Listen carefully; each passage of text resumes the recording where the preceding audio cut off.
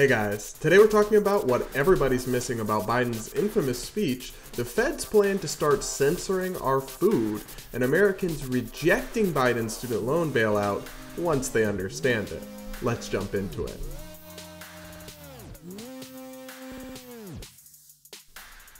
So, guys, I've got Jack with me today. Hannah is out and about in the world.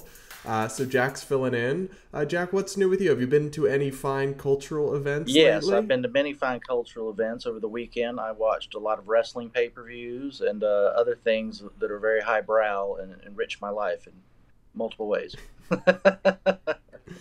yeah, so for folks that don't know, Jack is a big WWE fan.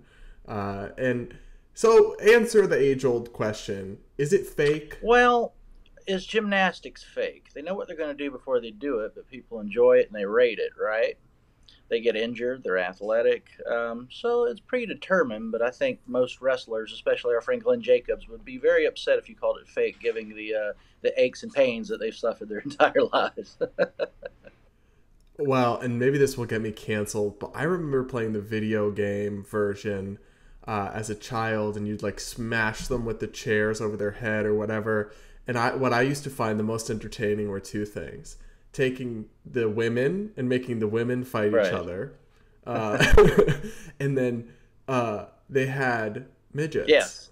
They had making the midgets fight each other used to give ten year old me endless entertainment. Yes, and uh, you know, people, uh, little people is the the preferred term, and I respect that. But I got to tell you, as a wrestling fan who's watched midget wrestling many times, those wrestlers, those little people, prefer to be called midgets in the wrestling field. They are midget wrestlers, and they're proud of that term. So, sort of a unique thing.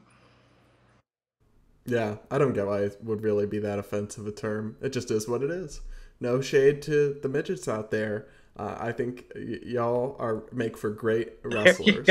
uh, so, in terms of what's new with me, not a whole lot. I uh, it just started wa- watching this documentary called Welcome to Wrexham. So this might interest you, it might not. It, it, some people might find it interesting, some might not. But basically, Ryan Reynolds and then this other celebrity dude from It's Always Sunny in Philadelphia teamed up and they bought a, a soccer team in England that's in the fifth division. So imagine like the equivalent of someone buying not even a minor leagues baseball team, but like two leagues below that. Um, however, the difference is that in England, in soccer, you can move up and down the leagues. Okay. It's called promotion and relegation. And so that's what makes it super cool is you could start out as like a D league team in basketball, right? A second tier team, but then if you finish first place, the next season you move up and you're in the NBA. And the teams that finished bottom in the NBA move down and go to the D league it, that's how soccer works in England. So essentially, these two celebrities bought this tiny little hometown club in the fifth division in Wrexham in Wales, and they're going to pour millions of dollars into it and try to make it into a top division club and get and work it up the ranks. And they're doing a documentary that's being released released on Hulu, and it's really great as a soccer fan, but it's also really it's really cool because it takes place during 2020 is when they did this and they're showing the hardship of this this small community in Wales and how like the local soccer team is kind of everything to them and how the pub is closed. They can't go to to see the team in the stands but it shows them huddling around outside around a TV like you just get this human. The documentary is so well done to show what it means to people. And they're even talking, and I don't think this is meant to be political, but they're talking about how harmful it is that they can't go see the team in the stadium. They're like, it's not just entertainment. Sure. This is this gives people something in their life to look forward to, to take their minds off things, to feel part of a community. Anyway, it's super well done. It's super interesting for the soccer fans out there. It's called Welcome to Wrexham. But back in Welcome to Reality, uh, we have a big speech to discuss. You've probably heard people analyze or talk about Biden's speech from last week about fascism and democracy ad nauseum. But Jack and I wanted to still talk about it because uh, we have some different thoughts, and we're going to try to focus on the substance of what Biden had to say. Because yes, the, he he spoke, and there was this creepy red background, and there were Marines lined up behind him, and the whole thing gave kind of Sith Lord vibes, and that's what a lot of people have talked about. And I agree that that's silly, but it's also not super substantive. So first, let's just play our, our first clip. Donald Trump and the MAGA Republicans represent an extremism that threatens the very foundations of our republic. Now, I want to be very clear, very clear up front. not every Republican, not even the majority of Republicans are MAGA Republicans. Not every Republican embraces their extreme ideology. I know because I've been able to work with these mainstream Republicans. But there's no question that the Republican Party today is dominated, driven, and intimidated by Donald Trump and the MAGA Republicans. And that is a threat to this country. These are hard things. But I'm an American president, not a president of red America, blue America, but of all America. And I believe it's my duty my duty to level with you, to tell the truth, no matter how difficult, no matter how painful. And here, in my view, is what is true. MAGA Republicans do not respect the Constitution. They do not believe in the rule of law. They do not recognize the will of the people. They refuse to accept the results of a free election. And they're working right now, as I speak, in state after state to give power to decide elections in America to partisans and cronies, empowering election deniers to undermine democracy itself.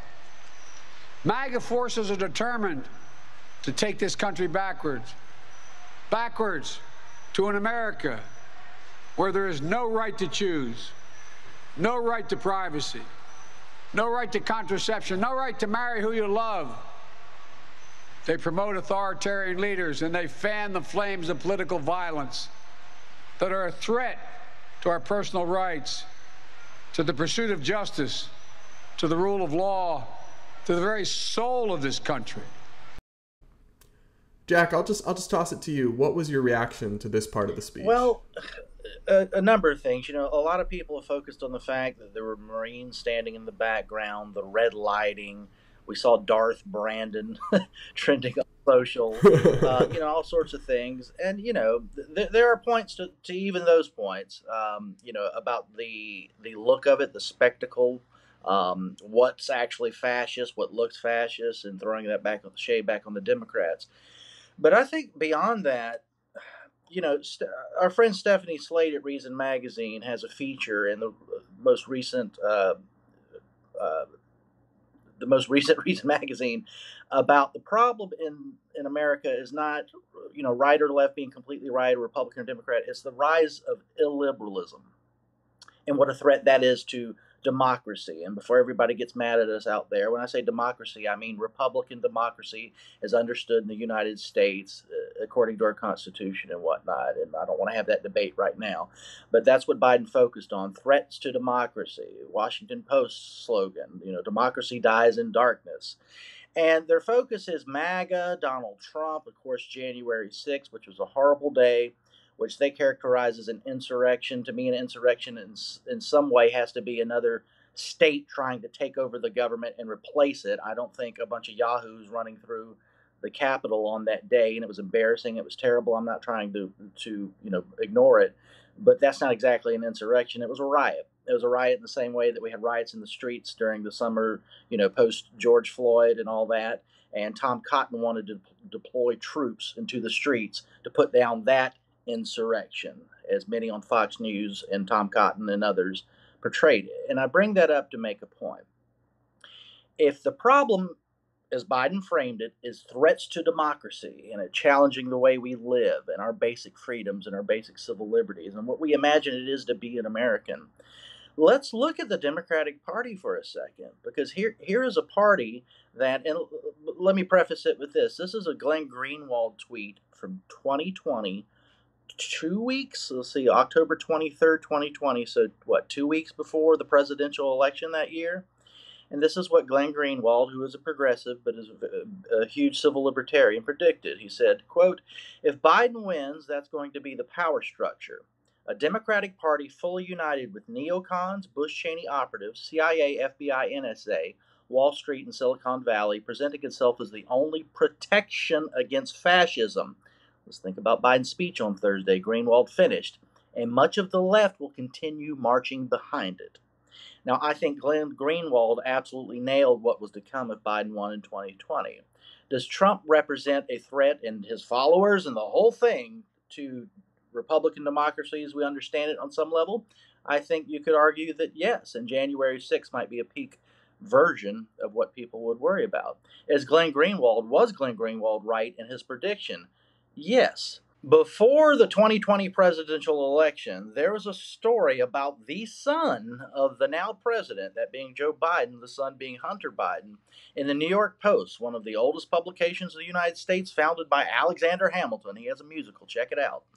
There was a story in that publication about Hunter Biden's laptop and some questionable dealings with businesses abroad that was certainly newsworthy. Certainly newsworthy given who his father is, who he is, whatnot. And as Glenn Greenwald predicted, whether it's Wall Street or Silicon Valley, who he said would work in tandem with a new Democratic administration, they suppressed that story. You couldn't read it on Twitter, it was tamped down on Facebook. And big tech decided we don't want Trump to be reelected. We want Biden to be elected. So we're going to tamp down on this completely legitimate news story. Now, so anybody watching this right now is like, oh, Jack Hunter is being crazy. The New York Times, that radical right wing publication has since verified this Hunter Biden story. Two weeks after that, the Washington Post, another radical right wing rag, also verified this story. So it's real. They told us at the time it wasn't, and it was pushed down. We weren't allowed to read it because they wanted a certain person to win, Joe Biden. I'm sorry, that's a threat to democracy. When this administration decides that during COVID, we this is a, certain things are misinformation and certain things are science. Science being the CDC and what Anthony Fauci says, and misinformation is anything that challenges that. Even if it comes comes from the scientific community, even if it comes from medical doctors, that's misinformation that's a problem because much of that misinformation, like only N95 masks working but not cloth masks, they don't do very well. The idea that natural immunity is a real thing. The idea that locking down schools will harm children far more than it will protect them than COVID. All of these things, which the CDC and the science have copped to at this point, was labeled misinformation at one point. We couldn't share to talk about it. You had you had Silicon Valley, big tech, whatever you want to call that, tamping down on it being directed by the U.S. government, which this White House has admitted. Let's go one step further. Biden, the Biden administration at one point floated the idea of a disinformation governance board. What is that? Totally not fascist. Totally not or... fascist. not Orwellian. Not at all. This is the federal government literally deciding what is true information and not true information are regulating accordingly. A clear violation of the First Amendment, of which we have because the founders feared something like a disinformation governance board. Now, I say this Biden's speech on Thursday, he talked about, you know, MAGA and Trump and the threat to democracy, while ignoring that his own party, from a, a position of power, I would argue higher than Trump could ever have because he's part of the establishment. He has big tech in his ear and all the Wall Street, whatever, all these other things that is just as threatening, if not more threatening, than anything that the Trump forces could, could threaten us with. And I don't see that discussed enough in the conversations about his speech. This is obviously the Democratic narrative going into the midterms because they don't want to focus on Biden's record. They want to make it about Donald Trump and what dangers that could pose in the future. I mean, that's the political strategy, that's clear. But the gist of what he was saying about threats to democracy, good God, the Democratic Party poses just as much a threat as anything happening on the Republican side. Yeah, I think I have a I had a couple big problems with this. One is the broadness of the brush with which he paints MAGA Republicans. And he says, not all Republicans, but then he basically says, only the Republicans who work with me are the good ones. Uh, and that's not very many. Um, but also, like, MAGA Republicans, there's a lot of people that voted for Donald Trump. I do think, honestly, that there is an extreme hard right section of the MAGA movement that is kind of authoritarian, right? The, Trump himself is posting on Truth Social about how he's still going to be reinstated and they're going to overturn the election. Like, I do think those are that is anti-democratic. That is authoritarian.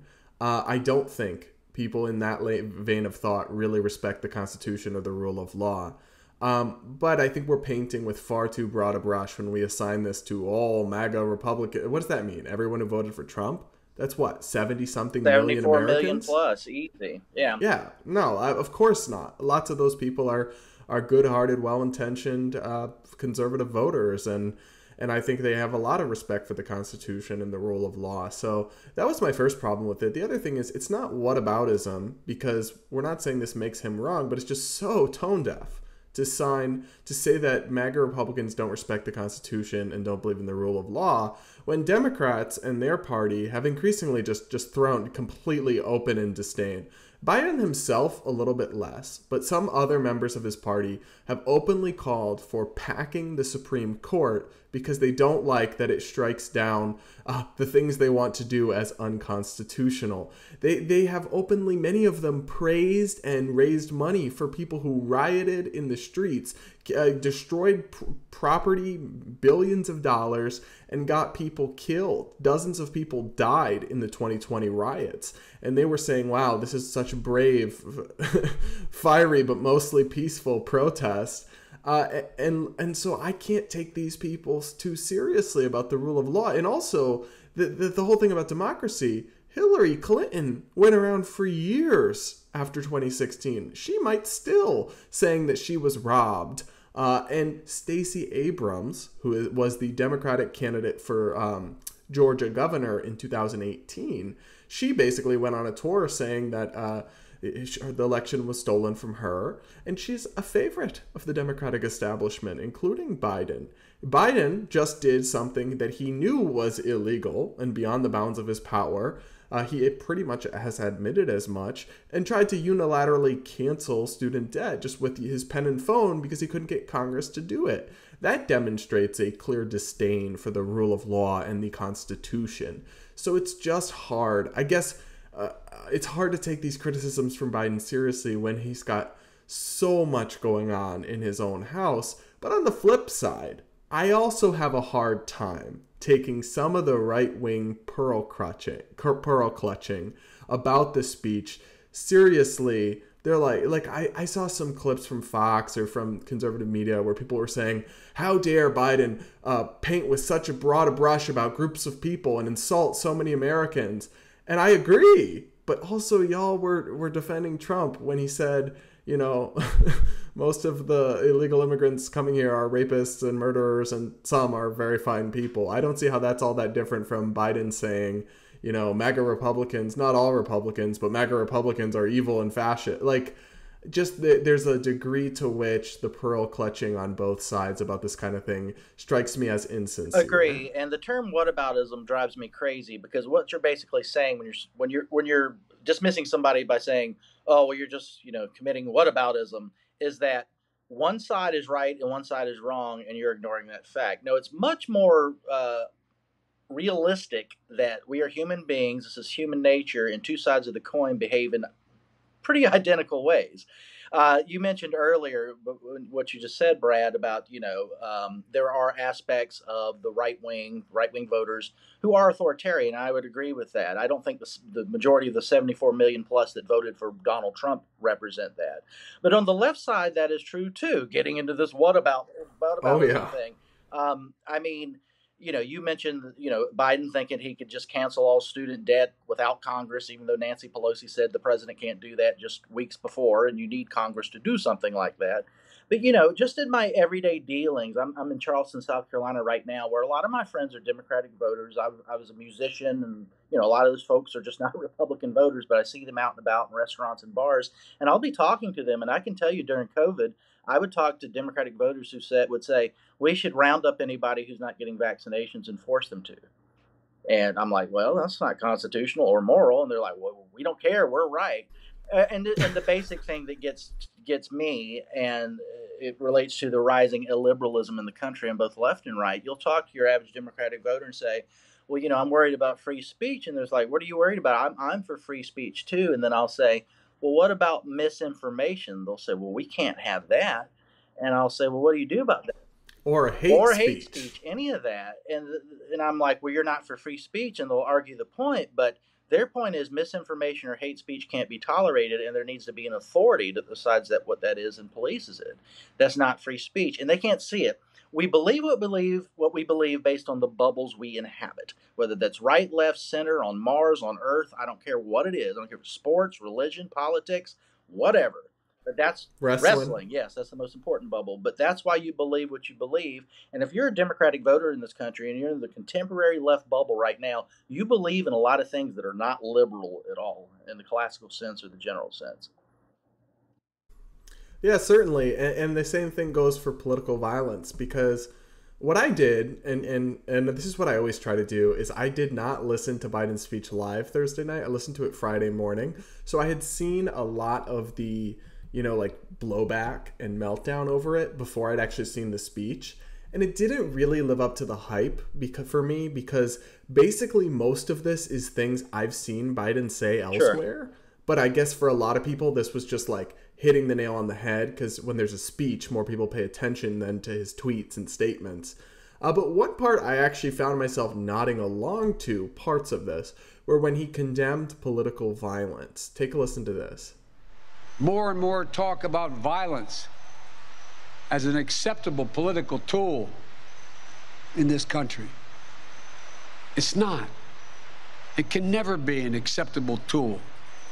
So I want to say this plain and simple. There is no place for political violence in America, period. None, ever.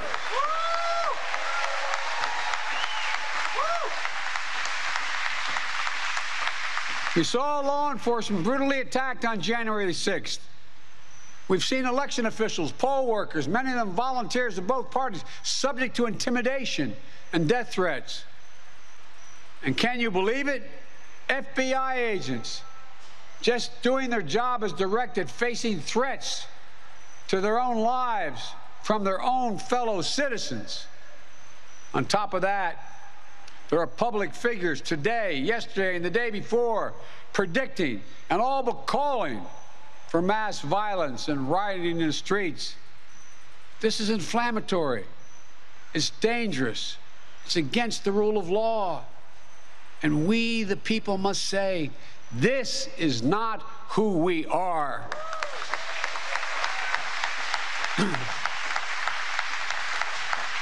Ladies and gentlemen, we can't be pro uh, pro pro insurrectionist and pro American. They're incompatible. We can't allow violence to be normalized in this country. It's wrong. So like I've been pretty consistent on this. That that was my message immediately after January 6th. Is I really don't believe in political violence as an acceptable form in a democratic uh, in the terms of people control the government society. Um, and so I agree with the sentiment here, but it's just so hard for me to take it credibly from the Democratic Party right now, uh, of which Biden is the leader, because we just saw Brett Kavanaugh, uh, basically a guy showed up at his house with the intention of murdering him.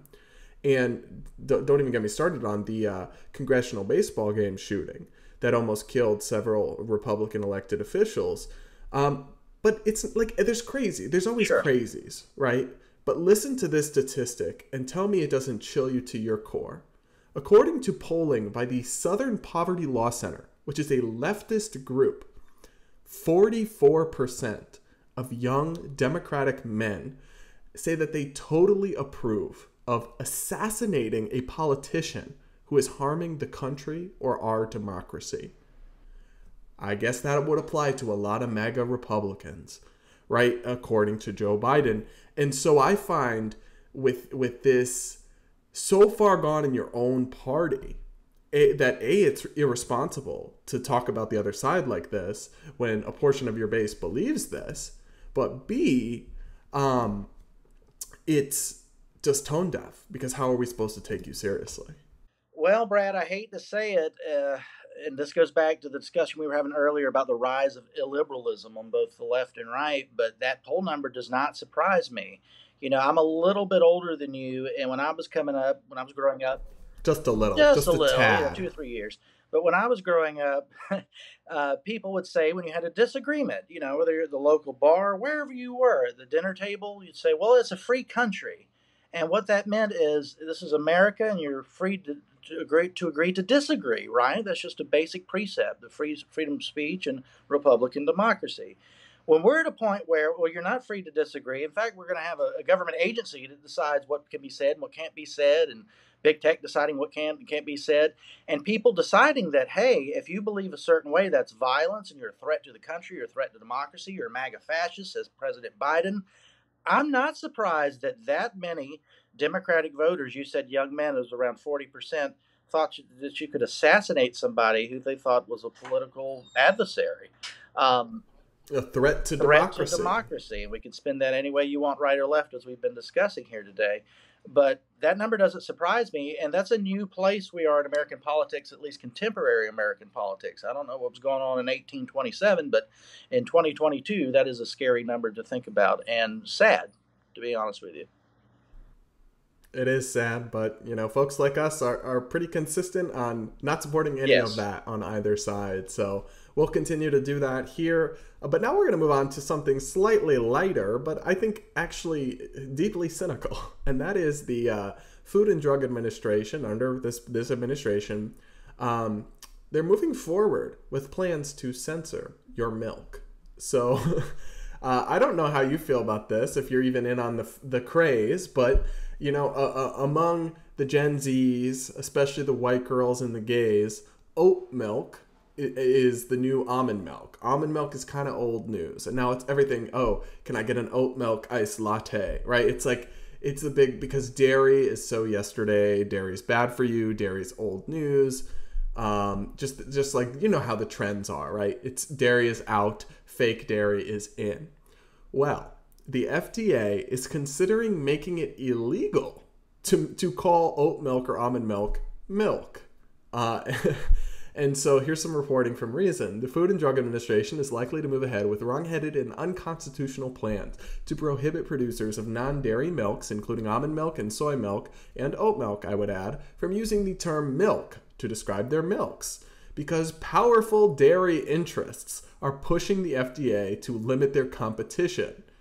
And so, of course, they've got a lawyer discussing how unconstitutional this is, but there are large and powerful groups asking for this ban, and the FDA is reportedly planning on imposing it anyway. So, I guess my first question for you, Jack, is were you aware of the pressing need to get the government here solving this urgent problem? well, first of all, I don't like milk, which my bones disagree with that decision on my part. But uh, no, I wasn't aware of it, and this just sounds like classic cronyism of which the FDA has been. A, that's a lot of what they do, right?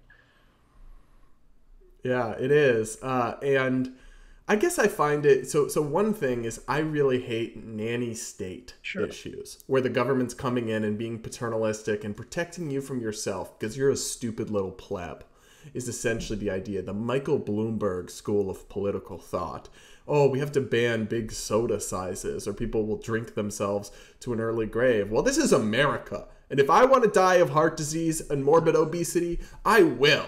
no, I'm kidding a little bit. But the, the idea here is offensive to me on behalf of Americans because Americans, you know, they're not the most informed when it comes to like asking them to name the three branches of government.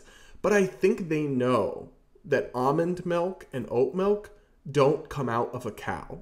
What these big ag what these big dairy companies are arguing is that it's essentially fraud and misleading consumers to label these products milk. As if people are so stupid that they think these are cow dairy products when they're not. Which I am sure you could find somebody with that who thinks that coconut milk is when they feed the cow coconuts and then milk it out with coconut flavored. But that person is probably five years old and also waiting for the tooth fairy to drop off their tooth, uh, money for their tooth. It's like, this is insulting that they think we need this. And it's just such bizarre priorities because the FDA literally created a baby formula shortage that's a national crisis still through its incompetence, and yet this is what they're working on right Can now. you imagine James Madison, other founders working on our governing charter, which would later be called the Constitution of the United States, and they're worried about, you know, delegation of powers and, you know, free speech and all these other things. One of them goes, Hey, what what if people are being sold milk that's not really milk and how can the federal government like they would have thought that was the craziest thing in the world that the federal government that that would be their its role right but here we are in 2022 we're discussing this. This is nothing new. The fda trying to regulate and not trying regulating these things is nothing new.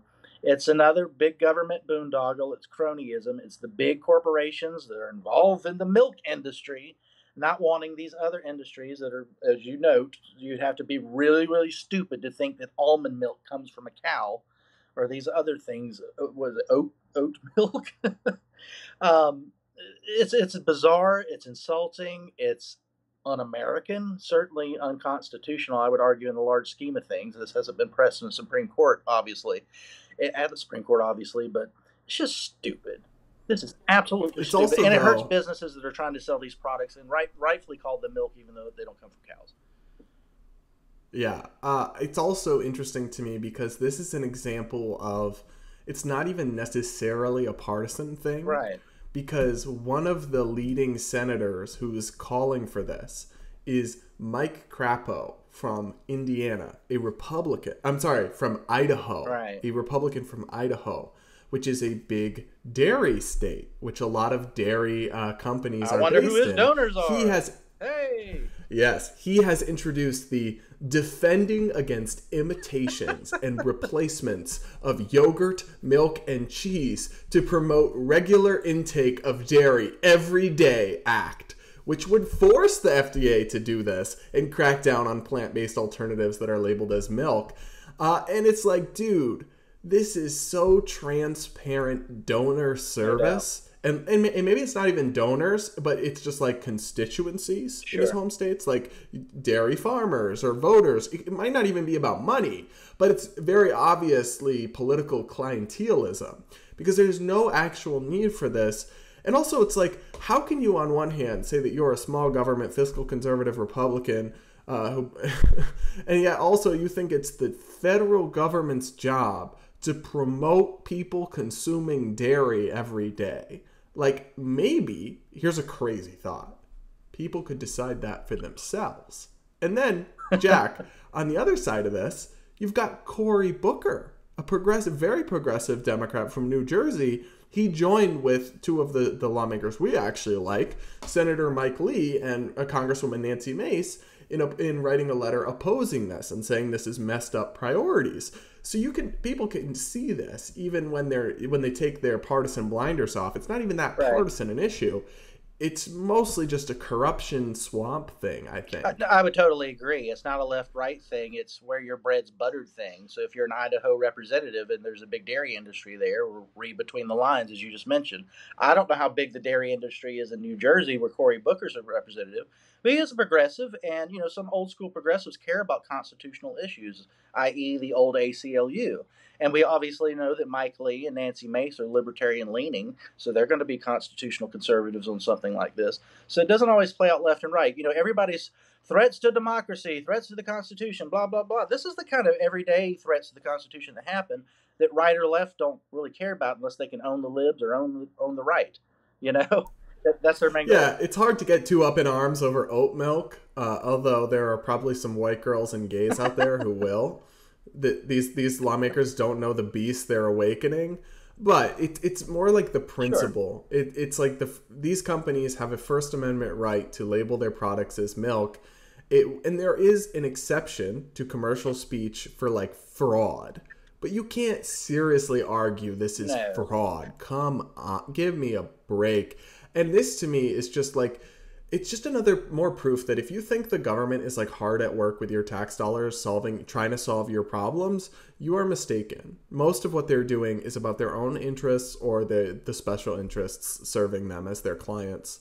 And and so this is to me is just another example of that. I, I completely agree. This is the, the people who want this uh, enforced are literally crying over spilled milk. I had to say it, Brad. I'm like, what, what else could it do? Sorry. Puns. All right. So for our next topic, we're going to talk about something that I found very interesting. Some new polling from the Cato Institute, because everywhere I've been seeing polling about how Biden's plan to illegally and unilaterally cancel ten to twenty thousand dollars in student debt, which really means transfer it to taxpayers, is super popular and gets big majorities. I've seen so many headlines about polls like this, but all these polls are very surface level. And that's the thing about polling is, is you can always get very big results at the surface level, but then the, it looks different when you peel back the layers and actually look at the nuances here. So the Cato Institute did this. They've got a great polling department over there, and they asked people if they support Biden's plan to give $10,000 in debt cancellation per borrower for earning people less than 150,000, which is very similar to Biden's plan. 64% of people said yes, because you know, free stuff, popular, why not? Is so is Biden's agenda actually popular? Well, not once people are actually presented with the trade-offs and consequences. So here is from the polling. Nearly two thirds of Americans oppose cancellation if it raises their taxes or primarily benefits higher income people. That's 64 and 68% who oppose. About three fourths, 76%, oppose it if it would cause universities to raise their tuition and fees, which we all know it would. So you get as much as 65 to 76% people oppose this as soon as you just even ask them or, or make them think about the, the costs or trade offs that obviously exist. So I guess it's not as simple as free stuff popular, huh? I, th- I think that's right. You know, politically, I think this is the Biden administration going into the midterms. So, what do we do? We make this about Trump and not about Biden. What else can we do? Let's do this student loan cancellation thing that we think will just be great for them politically. I think they're wrong. What you just said, it was borne out in that poll, Brad. I think once people think about it for half a second, especially average working people, people who didn't go to college or maybe did didn't go because they couldn't afford it or paid off their child's loan or paid off their own loan by working. I think one of the people in this conversation knows a little bit something about that, about working their way through college, working as a security guard and taking care of that because you didn't want to have debt. You're going to be resentful. And I dare say there's probably if as many, if not more, people, Americans out there who actually vote, um, who might feel that way, than ones who might like like this idea, which is what I think they're going for. This is definitely well, yeah, and a lot of the people who benefit and like it are really young people. But guess what? Young people don't vote. Right. Well, there's that. they don't show up. And I would go. Maybe they're hoping this will change that. This will bribe them to get out of bed and go to the polls, but it probably won't. And think about the the hefty number of people in this country who don't vote, and that's on them. That's that's their decision. And most of them, let's be honest, probably didn't seek higher education or go to school, and they're just kind of screwed out of the equation altogether. So you know, there's many moral dimensions to this as far as well as political strategy, which I think could blow up in Biden's face, according to the poll numbers you just shared. But it will only do so if people are actually made aware of the downsides. Right. And my concern is that it, that most people will never hear anything about it because the mainstream media would just parrots the White House's talking points. Yes. Like for example, the White House has been pushing around this graph that shows something like 90% of the benefits go uh, to people under $75,000 a year. And that's not true. That graph has been debunked by like the nonpartisan committee for a responsible federal budget who says that these numbers aren't right. Here's why they're fudged. But yet, whenever you post something about how it's mostly going to help the wealthy, the big tech is slapping a fact check on you in some cases. And then it just says, this is not true because the White House says and it's like, so your facts are literally just the talking points that the White House sends you.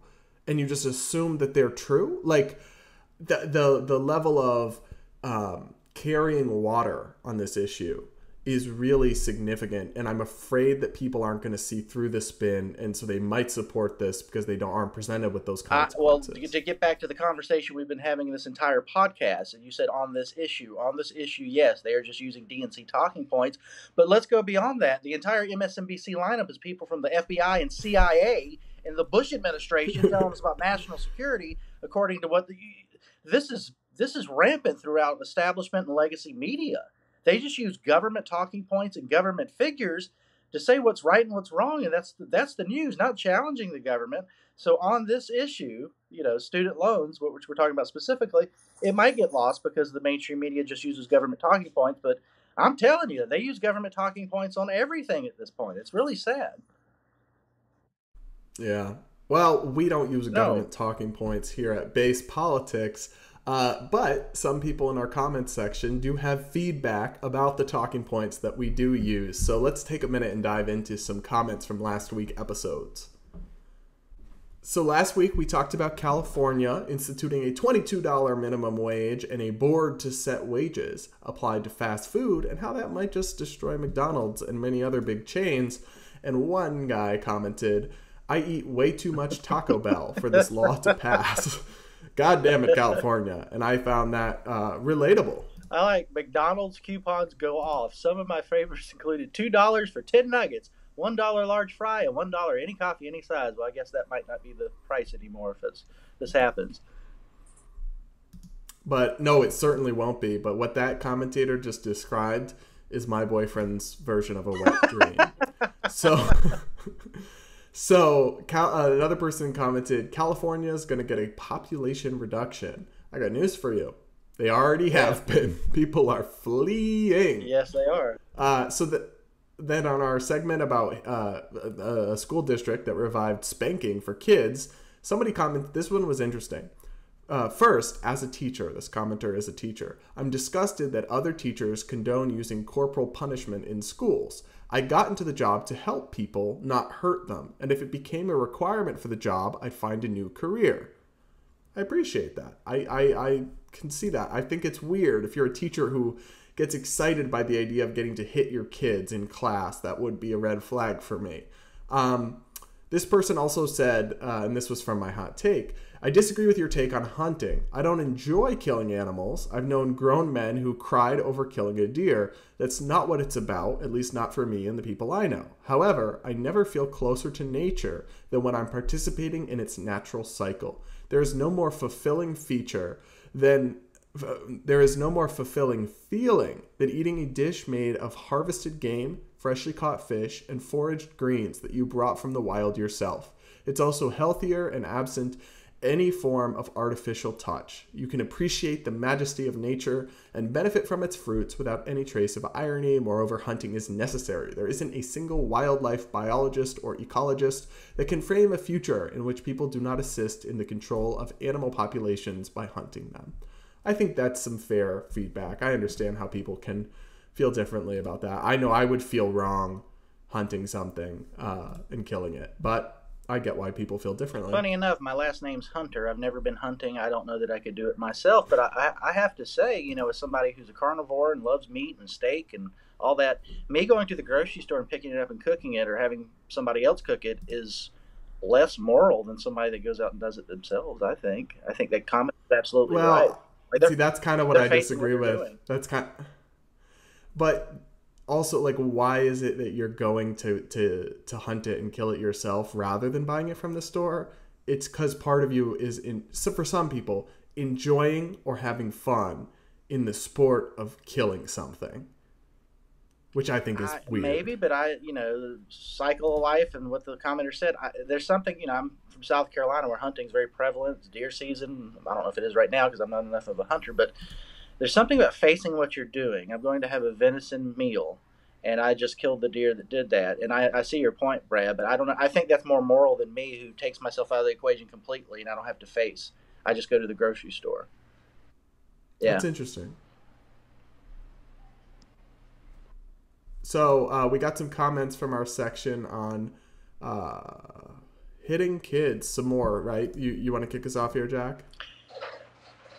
WTF, says Sweetie Spoon. There is no good reason to inflict violence on a child as punishment for anything. Another commenter says teachers these days and for the last two decades are the ones in need of spankings. On average, they've done a lot more harm than good. Uh, that one cracked me up. The one that teaches. I don't support spanking teachers, but the ones that fought to close the schools in the teachers' unions, are more deserving of spanking than most of That's these a- kids. I'll just say that. That's a fair point, and I'll say this. And look, I'm old enough that you know I was spanked as a child sometimes, and I don't feel like I've been traumatized or anything. I've talked to people my age of our generation that that's been a thing. I'm not condoning it or recommending it. I'm just saying that it, it is a thing. I the school system, especially like it is now, should not be in charge of inflicting violence on the students that go there in any way, shape, or form, even if they deserve it, or even if we decide it was a good idea, which I'm not saying it is a good idea. No, you don't send your kids there, and that's what happens with teachers. If we were in a town of 112 people and you knew everybody, and the school had five kids and they were acting up and you knew about it, we're not in that time anymore. Most places in America are not like that. That's a different conversation. And I think that's what people think of who still think maybe this is a good idea. That's not modern America. That's not modern public education. No, that's that need to be happening uh, without question. So, Sue says, "Oh hell no! Never give them permission to spank your children." I agree. Another person commented, "Spare the rod, spoil the child." Yeah, okay, boomer. Yeah, no, it's stupid. I'm sorry. You can discipline your child. You can be strict. You can have boundaries. You can have limits without hitting them, especially with a rod or a belt. Right. Is even worse. Uh, I'm sorry. Boomer take, downvote, dislike. Uh, another person commented, A woman grabbed my son's arm when he was three and told him that he was bad for playing with a toy cap gun. He did not point it at her, he did not fire it at her. He said bang while running around playing with it while I was near him, maybe 10 feet away. She went up to him, a three year old, grabbed his arm, and said that. I probably moved the fastest in my life when I grabbed her arm and let her know in no uncertain terms that if she ever touches my son again, it would be the last time she'd ever be able to use her hand. She got the message and left us alone wow, that's kind of intense. But you know what? I, I can see why, like, the idea of spanking your own kids is debatable enough. But the idea of somebody else putting their hands on your child, to me, is just beyond. Yes, that, that parent was absolutely right to do that. That's not another adult's prerogative to parent somebody else's children. So now on to our segment about quiet quitting, where people do the bare minimum at work, the Gen Z TikTok trend. Uh, we got some comments on that, right, Jack? Yes, let's see. You're right. Quit. You're right. I think they're saying quiet, but it's spelled quit. You're right. Quiet quitting long term is not the greatest idea, and many people in my generation and younger just don't get it. Uh, that's people obviously commenting on work work ethics and the quiet quitting, as you as you said, Brad, and you wrote about it in the New York Post in a very great article about the idea just we're going to do less and less at work and quietly quit our jobs while still receiving a paycheck. Uh, another commenter says, I want to say something. I've been watching your videos for a couple of months. I'm not a libertarian. I would consider myself a socialist, but watching you guys gave me a good perspective on what libertarians think and feel about issues and what their solutions are. I like you guys' commentary, and I think it's very entertaining and informative, too. That's very nice. I think that's very kind. And I like Yeah, that people are I appreciate yeah, that. I, I, look, we're we're we love America. People of different perspectives can watch and enjoy and listen to each other, and that's what we do. That's what makes this country great. We need more of that and less of let's censor censor people we don't agree with. hmm So uh, back onto the quiet quitting. Somebody said many of these companies are run by far left woke anti-capitalists who prioritize increasing the company's environmental and social governance score instead of maximizing its profit and stock value. So I say good on these Gen Zers for doing the equivalent of tossing a shoe into the gears. I don't really like these kind of takes where it's like other people are doing a bad thing, so we should do it too. Yeah, that's not how I approach life. So uh, this next commentator said, Workers have been getting apathetic for years. Quiet quitting is a cutesy term for a behavior that has been happening throughout job history. I'm over 40. I went through this in my early 30s. However, I wasn't a temperamental brat. My problem was I couldn't have autonomy over my work. I stopped going above and beyond and just did my job until I left for a new job. Yeah, I do take the point here that it's not a new new thing. It's just a new name that people are putting on something. Uh, that's absolutely true. But there's a little bit of a trendiness element to it that maybe wasn't there before that I think is bad because we can see how impressionable young people can be on these apps like TikTok. And maybe that was right in your situation, but it's probably not right in a lot of situations and people are going to think it's the trendy thing to do because it's on TikTok with getting people billions of views. And so that's kind of my main concern. But Jack, that's all we got. That's all we've got in the comments bag. Uh, what is your hot take? Or maybe I should go first because mine is pretty quick. But I saw a friend online, and absolutely no shade to him. I, I get the hustle, but he was promoting a new brand of Pro Life Coffee. so, a company that is selling coffee and marketing itself as openly pro life. And look, I consider myself pro life, but I just, I don't want us to be at the point where our coffee has to be branded pro life and pro choice. And so I, I, I hope we're not actually that divided. And that's just deeply depressing to me, that the very concept. Yes, I'm pro life as well, but I don't need to apply that to coffee or cheeseburgers or potato chips or things like that. That just seems uh, muddying the waters. My hot take, Brad, would be, and I guess this is something that I just saw that I liked. I like movies that come out or TV shows where like really old actors that are kind of past their time are whooping ass. Like if Arnold Schwarzenegger has a new action movie and he's 85, like I want to see that. I know that's weird. There's Amazon Prime just recently released Samaritan, which is Sylvester Stallone playing a comic book character that's sort of indestructible and just beating the crap out of everybody. And I don't know much about comic books, but I really enjoyed it. So if you've got Amazon Prime, Samaritan, Sylvester Stallone, Rocky Balboa, Rambo at it again. All right, that's take. Uh, guys, that's it for this week's podcast. Thanks for tuning in. Likes, like this podcast, rate us and review on Apple or wherever you listen. And we'll see you all next week. In the meantime, stay base.